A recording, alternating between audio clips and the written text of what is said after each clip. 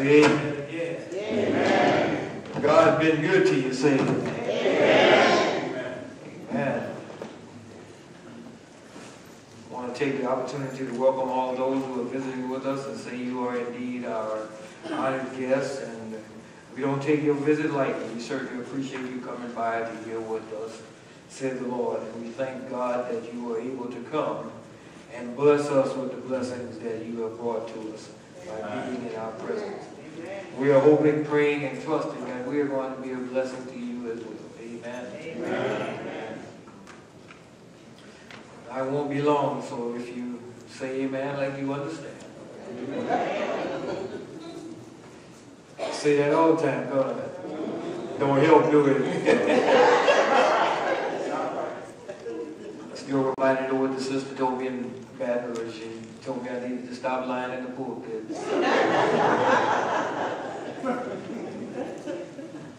so we're going to do our best. If you can find your way back to Psalm 121, we'll see if we can say something from the Lord. Psalms 121 and verses uh, 1 and 2. And I, I, I like all of it too. I like the whole song as well, and I'm glad that the brothers read it all the way out. If you have your place there, say amen. amen. The Bible says, I will lift up my eyes unto the hills. From whence comes my help? My help comes from the Lord, which made the heavens and the earth. I want to bring you a message from this song entitled A Song for Any Time. Is that all right? Yes. I've been blessed uh, to fly sometimes from one state to another and throughout the United States. I've been to the northern region and I've been down to and grew up in the muggy south. I've been to the historical East Coast, lived over there too. I have even been to the West Coast. But I noticed something throughout my journeys. Are y'all still out there? And there's a constant degree of fear that permeates my travels sometimes. No matter how far or how short the distance is. No matter if I'm flying on a 747 Boeing aircraft or a prop airplane or an Airbus, small airplane or a train, a boat or a car. There's a degree of fear that grips the heart. I've seen people look at the airplane and look out the windows as if they're trying to inspect to see if there are any cracks on the wings and if they function right. And when the little motors go, they're looking out to see if they're functioning correctly. I, perhaps that's just me.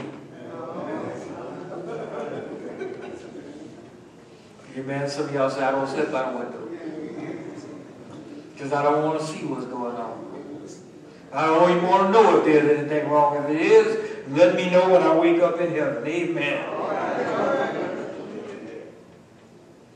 There's a degree of fear that grips the heart. I've even seen people check the boats from head to toe trying to see if, if it's going to float or not. Somebody needs to say amen. We examine things because we reserve the right to be a little bit fearful. Yes. Yes. And a little cautious about our travel. Are y'all still out there? I've seen people handle fear in different ways. I've seen folks sit down on planes after they've just left the bar, order a couple more drinks, down them in, out of the little bottles, reach into their pockets or their purse and pull out a bottle of pills and pop a couple of those, trying to shake off the nervousness. Are y'all still there? Y'all got time? Petrified because of the unknown, you know. And I've even heard folk pray prayers ask for traveling grace, saying that they trust in the God of grace because they don't know the pilot. Somebody needs to say amen. But before we take them apart psychologically, many of us in this room this morning know the Lord well and know that the Lord will make a way somehow. Amen. And know that God is our shelter in the time of a storm. And know that God is able. And if we tell the truth, sometimes we are fearful about what, about what the future may bring. Some people remain trapped in a job that brings no satisfaction. Even though God has given you release to go elsewhere. Because of fear, you still stay there.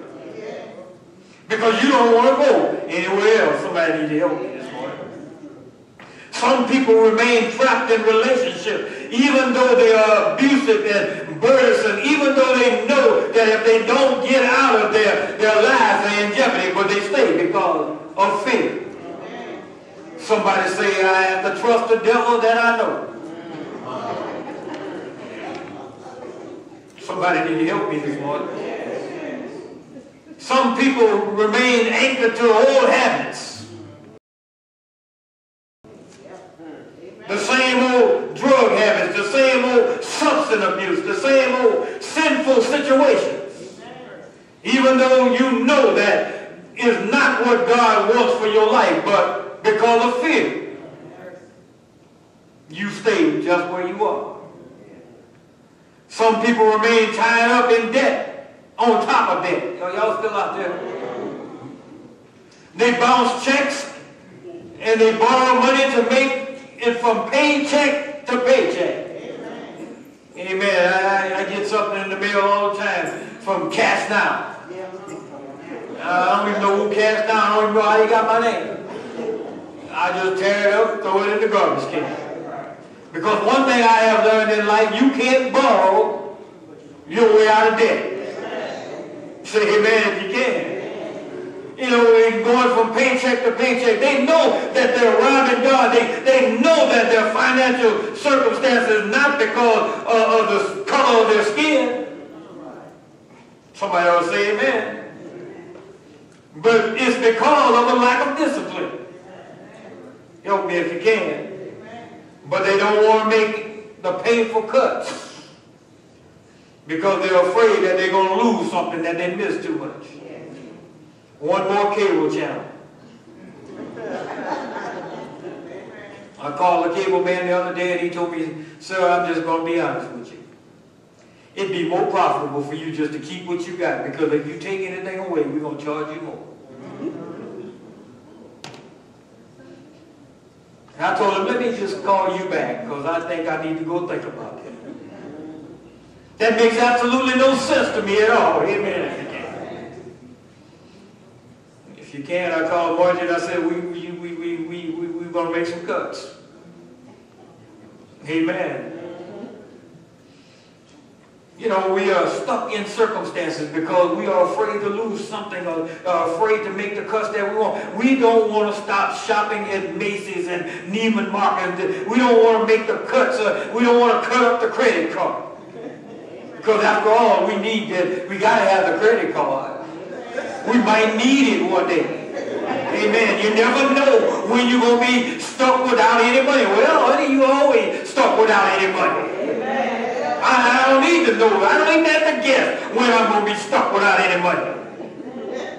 Somebody say amen. Know, stop impulsive buying. Can't do it. I'm getting to where I want to go. This, this is a song for any time you know, we, because of fear, we are afraid to, to, to let some things go. You know, it was a time when we were afraid about the debit card. We, we said the debit card ain't going to do it. Now there's cryptocurrency. We're afraid about that too. Amen. New things come along all the time.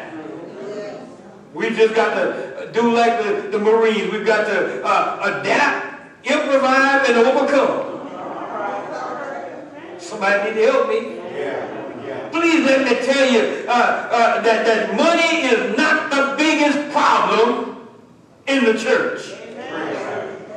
I know you read your Bible and you, you read that scripture that says that the love of money is the, the, the root of all evil. That's not what the scripture says. Actually, it says that the, the, the love of money is the root of many kinds of evil. But money is not the biggest problem that we have in the church. It, it's, it's not our failing economy. It's not because of Donald Trump. That's not what the problem is in the church. Are y'all still out there? It's not the lack of members uh, and visitors every Sunday. That's not the problem. The biggest problem that we have in the church is fear. Some of us could have been doctors. But fear held us back. Some of us could have been business owners, but fear holds us back. Somebody else say amen. Some of us could have been preachers, but, but fear holds us back. Some of us could have been tired, but fear holds us back. You know, I can't be given to the church because if I give to the church, well, I might need that next week. You know, I got bills that's coming up, and if I give, I, I can't, I don't know, I don't know. I got to have it just in case. I can't put it the bank because I got to keep it under my mattress because they might rob the bank. Some of us could have been Bible scholars, but, but fear held us back. Some of us could have been great assets to our community, but fear has held us back. It's not the money. It's not the membership. It's not all those things. It's fear that keeps us from doing what we need to do. Do you know that fear is diametrically opposed to faith? Opposite of faith, brother. Yeah, yeah. Fear, I'm going to say it again, is diametrically opposite of faith. You, you can't have faith and have fear in the same house. I'm going to say that again. You can't have faith and fear in the same house. Because the Bible says faith is the substance of those things hoped for. It's the evidence of things not seen. And if you've got to see it, touch it, smell it, and taste it before you believe it, then you don't have no faith. Somebody else say amen. But when you have faith, faith is the substance. And I think I've explained to you what the word is there. I love, I love the, the, the, the word there. That's a, that's a Latin term. The substance is, is Latin, but, but in, in Greek it's hypostasis, which means that it's, it's, it's the thing that stands under you. Yeah, yeah. Faith is the substance. It's the thing that holds you up.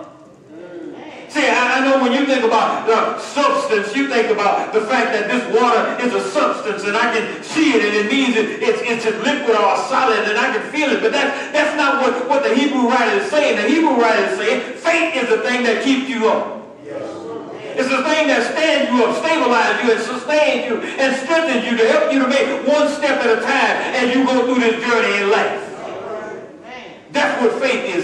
Faith is the pedestal the things that keep you from falling over the side. I know uh, when we were out in the, the country and we would uh, do those string beans and, and, and, butter beans and things like that, you, you, you, you take a string and you, you run it all the way down the, the road and you, you take that string and uh, run it all the way to one side to the other of the road and then you take sticks and we going by what we call butter bean sticks and we put them down and then we just let the beans grow up on the stick. Amen so that it keep going up and, and, and not lay on the ground and die.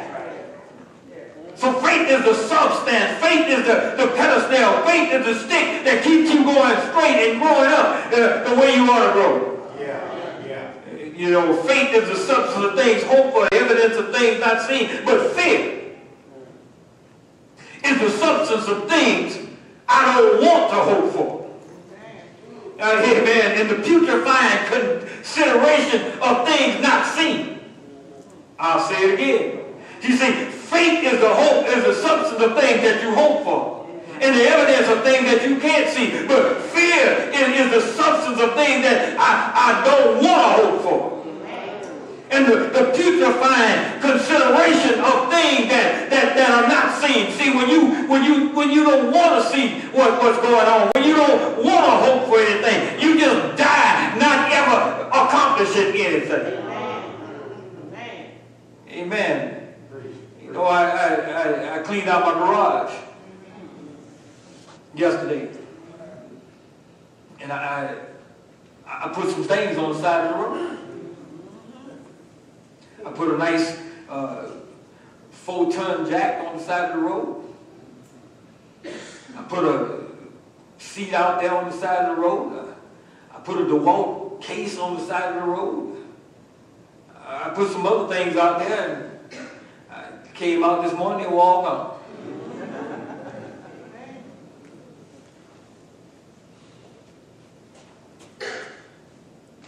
My jump. Was somebody else's treasure. I admit it was good jump.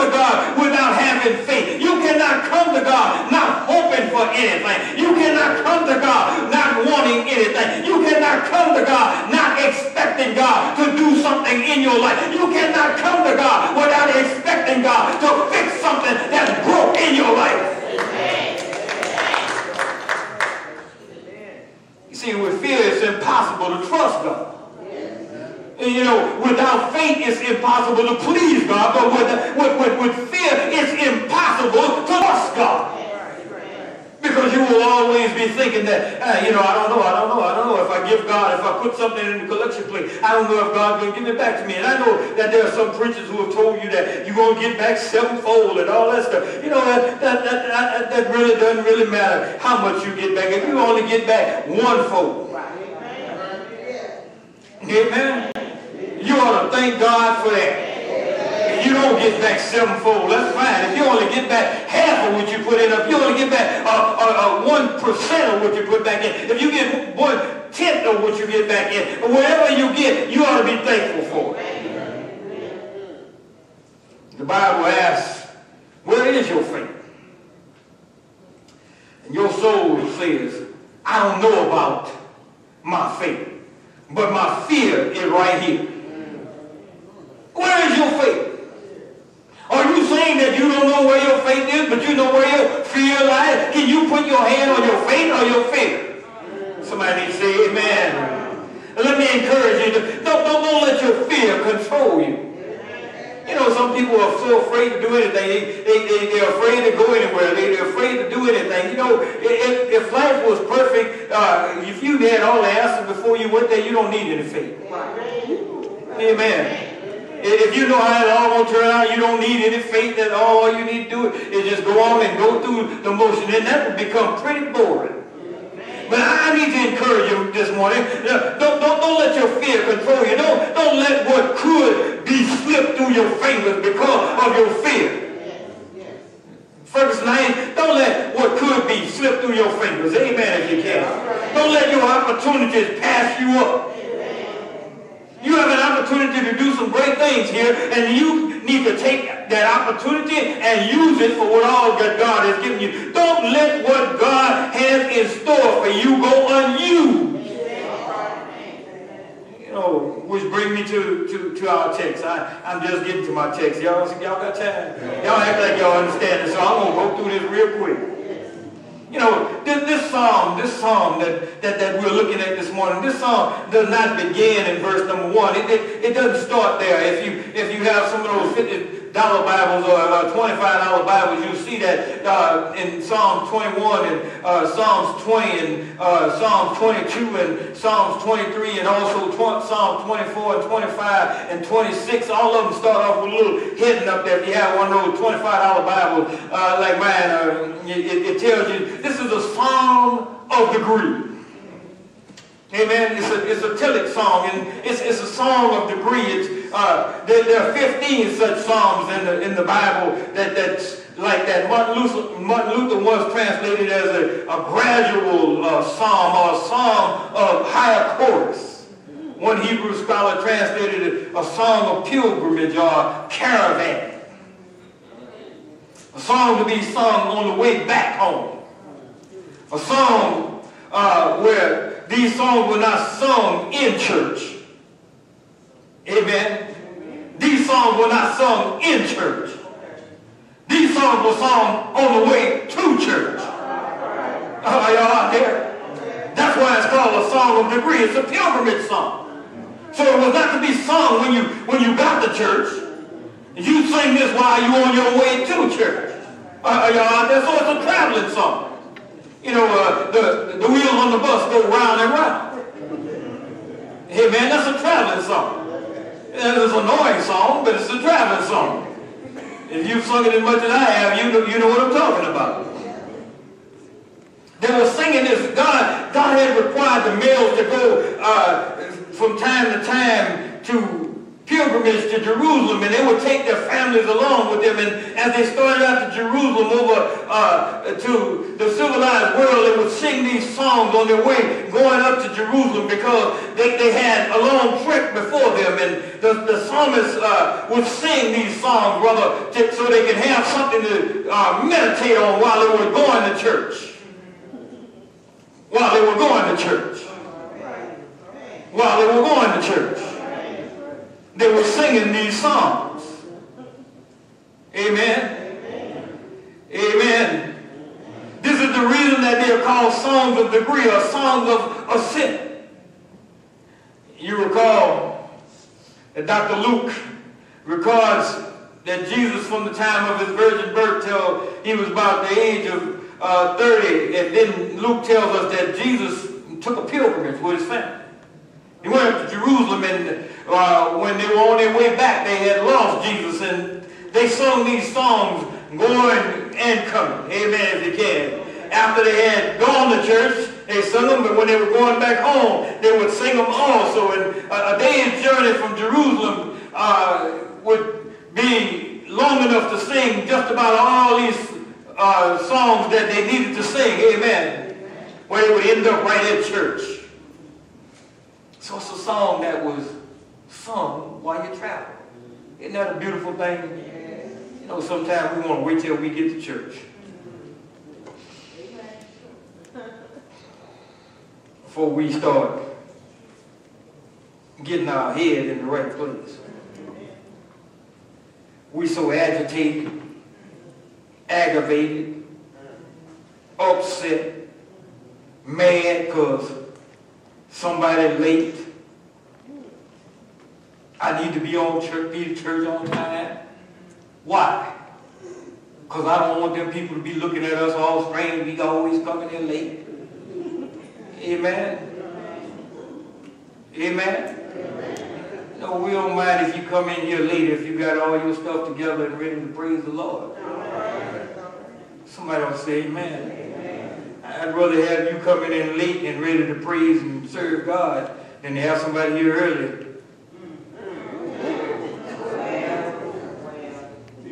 who just came to see what they could oversee. Let me move on. So not only is it a traveling song, but I need to hurry up, y'all. Y'all, y'all look like y'all explaining. Y'all understand. Y'all understand. It's, it's also a praising song. Not only was it song tra for traveling, it, it was a, a, a hallel song. It was a, a hallel song. It was a, a praise song. Israel used hallel songs regularly to, to uh, at the three feasts, the Passover, Pentecost, and, and the Feast of Tabernacle. This, this is not a, uh, for analytical uh, portion of text. You know, it's not, we can analyze and try to get everything out of it, but they weren't really trying to get into analyzing and trying to teach a whole lot. They were just trying to uh, give praise unto God. Before you set your foot inside the sanctuary, you should have already looked around your house and the four walls of your house and found something to praise God about. Amen. Before you come in here, you already have something to praise God about. Somebody else say amen. You, you, you riding in a nice car with air conditioning, you ought to be able to praise God for that. Amen. You woke up with your right mind and uh, you were able to go in the closet and pull out some clothes even though you wore before. Amen you still ought to be able to say something to praise God about. Before you even come up in here, some folks be talking about, I got to come in, the song leader, Brother Lucky got to be trying all hard to get you to praise God. Somebody ought to say amen. amen. You ought to be ready to already sing. Have a song on your lips before you even get in here. You ought to be able to give God the glory and the, the majesty and the honor and everything because of what took place in your house and on the way here. But when instead you were cussing somebody out, amen, agitated with the folk for being in your way while you were trying to get to the church. Somebody need to help me this morning. Mad because you got uh, slowed down a little bit because somebody was in your way. Before you set foot in the sanctuary, you should already have looked around in your house and seen that it was a good day. Oh, somebody ought to help me this morning. No wonder the old folk used to put on Mahalia Jackson and, and, and, and get their praise on before they went. Somebody ought to help me. Straight company and all that kind of stuff and uh, uh, soul purpose and uh, those kind of things. Somebody need to help me. Uh, the Metro singers from uh, Amen from way back. Uh, amen. It's going to rain. Got on your praise before you even came here. I'm sorry, but you can't get ready to praise God and get pumped up and excited about God while listening to Snoop Dogg, Mary J. Blige, 50 Cent, and that dog, uh, you know, Mike Show, Lil Mo, Busta Rhymes, Mariah Carey, Lil Kim, Monica, Gerard, Pharrell, Amen, Jay-Z, Push T.I., Not even Isaac, brother. Tyrese, no, can't do that either. I, maybe I missed somebody. Mm, okay. B.B. King.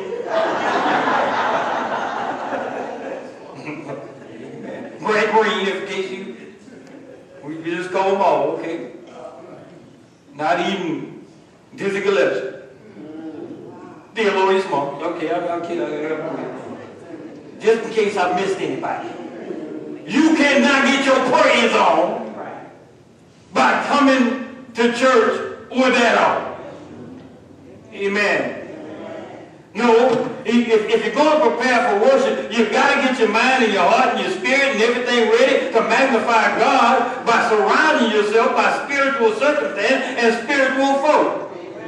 I know some of the folk that's riding the church, but you ain't spiritual. Amen? But you ain't either.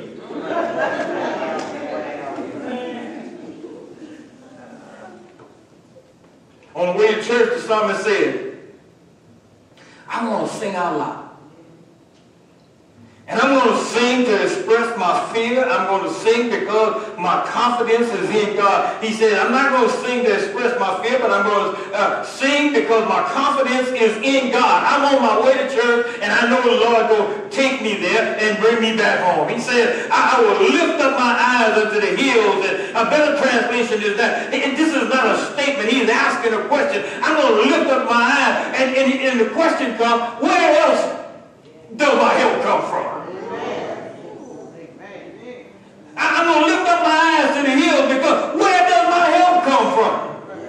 My help comes from the Lord, and that's why I'm lifting it up. He, it's a rhetorical question. He's not, he, he's not really asking because he doesn't know. He knows that his, his help comes from the Lord, but he has to remind himself every once in a while, and sometimes we get all caught up because we think our help comes from us. Somebody needs to say amen. So he says, I'm going to lift up my eyes to the, to the hills because my help comes up from the Lord.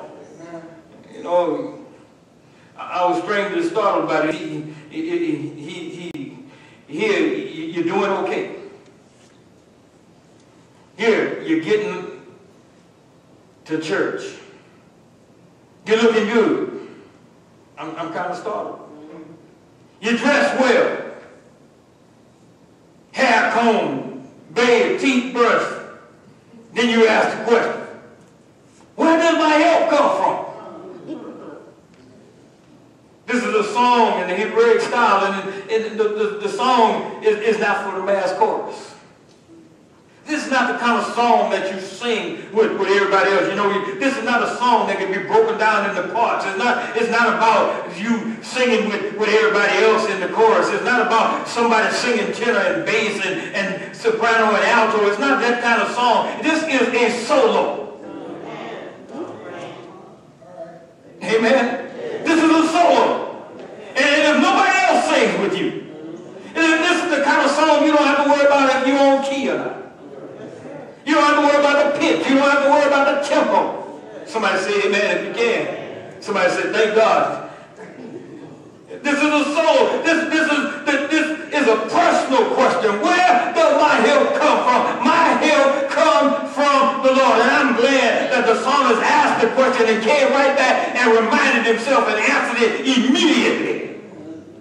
See, I don't have to wonder too long when I know my help comes from the Lord. You know, as, as this pilgrim is going through the mountains that surround Jerusalem, he wondered out loud and looked at the valleys and the streams and, and the route of, of, of the final destination where he's going. Where is my help going to come from while I'm on this journey going from my house to Jerusalem to worship God? Where is the help going to come from? Amen. Which brings me to my last and final point. This is a helping song. It's a traveling song. It's, it's a praising song, but it's also a helping song. You say, where, where, where, who's going to help me? Who's going to help me navigate places I can't see but I've never been through? Who's going to help me walk through the dangerous place that I never heard about? Who's going to stretch out and go in places that I cannot see? Who's going to help me pay the bills? Somebody ought to say amen. Who's going to help me raise my children? Who's going to help me when I have to live by myself? Who's going to help me when my bills are, are high and my money is low? Who's going to help me when I can't catch the bus? When I when I use the drive and I can't drive my car anymore? Who's going to help me? Who's going to help me when my friends walk away from me? Who's going to be there for me, Lord? Who's going to be there when my name is is scattered on the highway. Who's going to help me when I lose my job, Lord? Who's going to help me when my unemployment run out? And they tell me that I have no more and then the quarters no more, the job is gone and I don't have a job. Who's going to help me when, when the bank says pay up or else? Who's going to help me when the government has no money for schools? Who's going to help me when, when, when, when I'm not as fine as, as I am now? Somebody will say amen. Who's going to help me when my eyesight fails?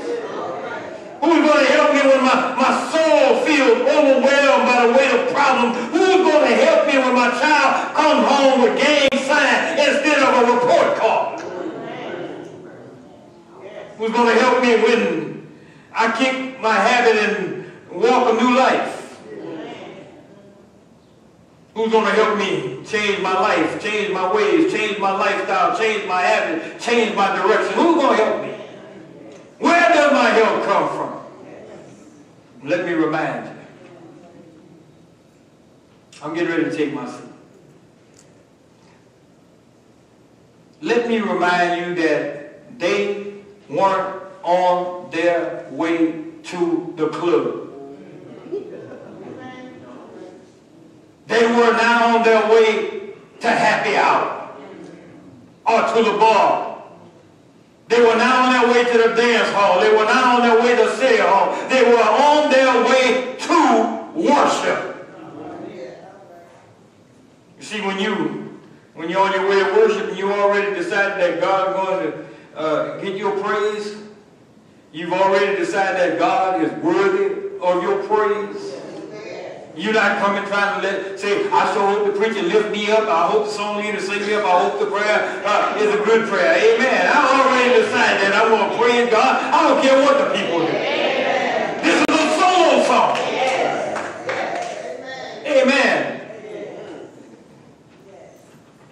you've already decided that you're going to give God the praise and God is worthy of your praise, you already decided that God is Jehovah Jireh, the, Jireh, the, the, the provider the God who provides. You've already decided that God is the God who gives, God who provides for all of my needs. You've already decided that God is Jehovah Nisi, the Lord is my banner, and I, I just need to help you understand what that Jehovah Mean. This is a wartime title. Uh, uh, uh, uh, title. This is a title uh, when you, in, if you've been in the military, you know that you always see in front of it when, when, when we used to do PT and, and running and everything and going out running in the morning, uh, somebody had to carry the guard arm and they would just spin it around and had a little flag on it and that, that flag would, was to encourage us because it, it would tell people who we were, but it also reminded us of who we are.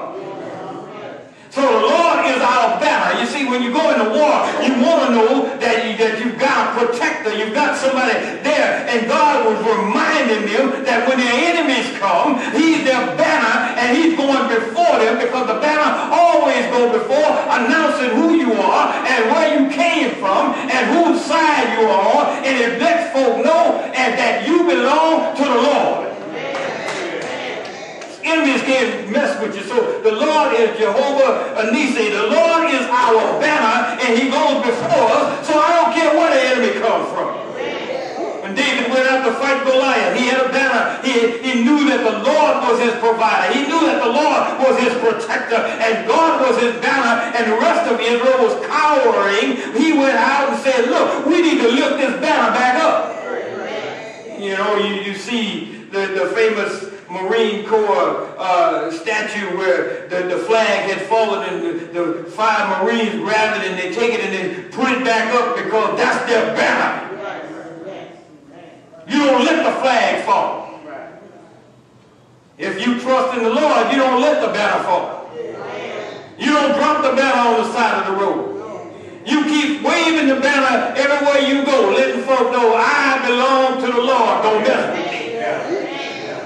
Somebody needs to say amen. He's Jehovah Ra.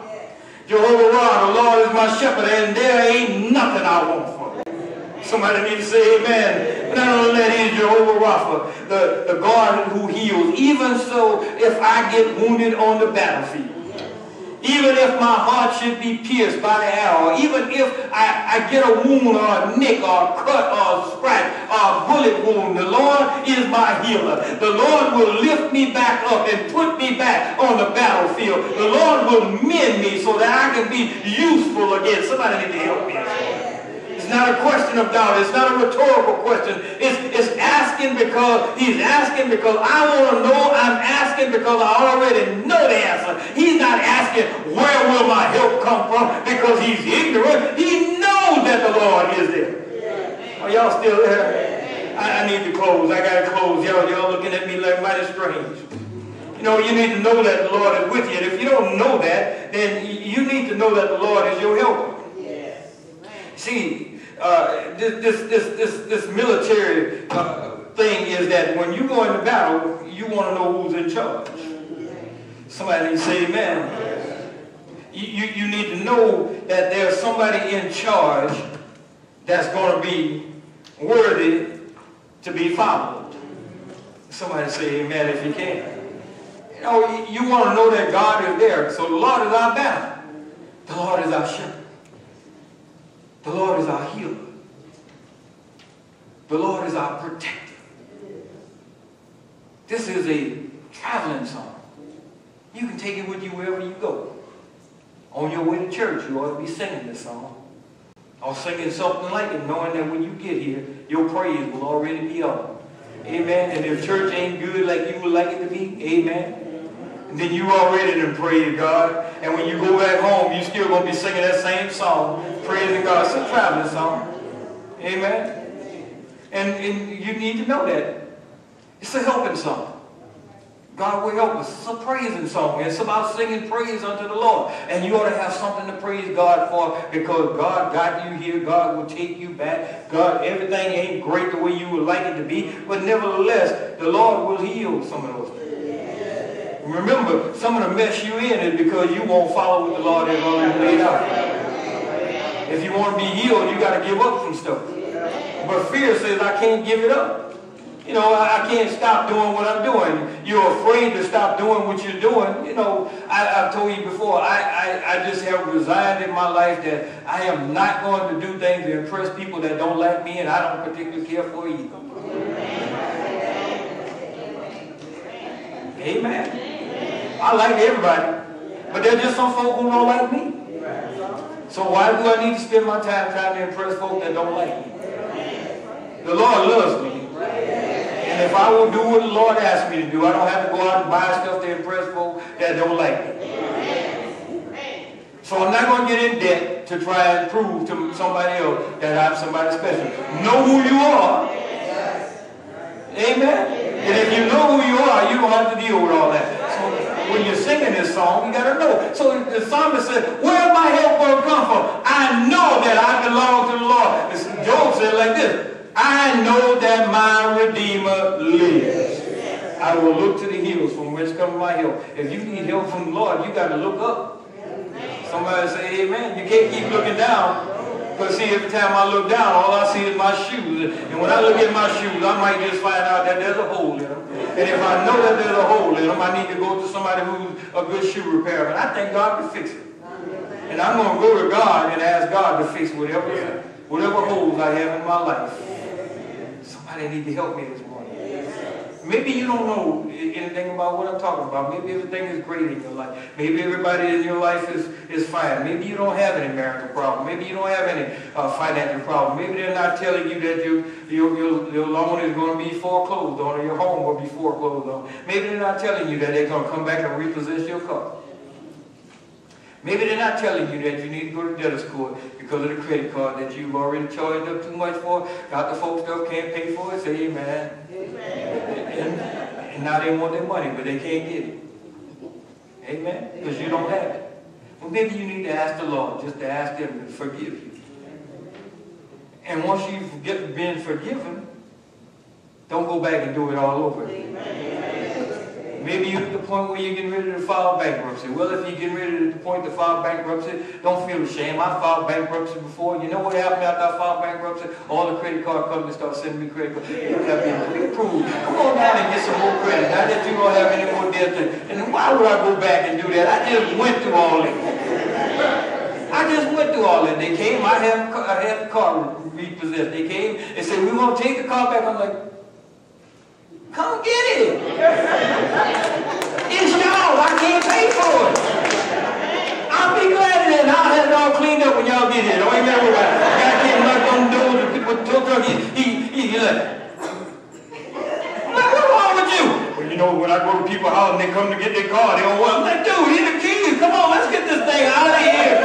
Come on, get out of here. I got a, I got a jumper I need to get in here, and it's holding up the plane. Hey, I, I need to put something else there. Amen. I got a hundred and fifty dollar car I got to get in there that can be paid off. Come get this one. Amen. Yeah, you know, ain't no big deal. It's, it's, it's, it's less life. Now I'm free to go and do what I need to do, and now I have learned a lesson. Thank you for giving me the opportunity to learn. I paid my tuition, and because I am now smarter, I don't have to deal with that anymore. Thank you, Lord. Ain't no shame in. So what? The lights have been turned off. You'll get them back on one day. Trust the Lord. Stop stressing out over stuff that you can't do anything about. Where will my help come from? My help will come from the Lord. The Lord will open up the windows and pour you out a blessing. Well, I need to just close with this because it's 12 o'clock and I know y'all ready to go. The Lord will open up the windows. I've, tell, I've told you this before, but sometimes we're thinking that God's going to pour down a whole lot of money on us. No, God's going to open up the window because when you open up the window, the window will give you light. Right. Yes. Yes. And now you can see some stuff you hadn't seen before. And the blessing is that God has shown you some stuff. He's shown you where and how to get that money back and to get rid of some of that debt. And now you truly are blessed. Not that God gonna send you down a big old windfall of money and you're gonna be rich and everything else. God gonna open up the window and pour on me out of blessing. Yeah, God open up the window of heaven, shine some light down on your stupidity. Incidentally, ignorance is curable, stupidity is lifelong. Ignorance is just not knowing. Stupidity is knowing and don't want to do it.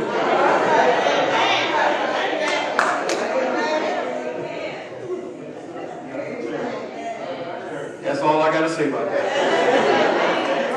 If y'all here this morning and you've been struggling with any of that stuff that I've been talking about, this song is for you. It's a traveling song. Take it with you wherever you go. It's a praising song. Praise God while you're going from place to place. And what's the last one? It's a helping song. Thank you. See, I needed help. if you need help this morning, come on down right now and sing the song. Happy birthday,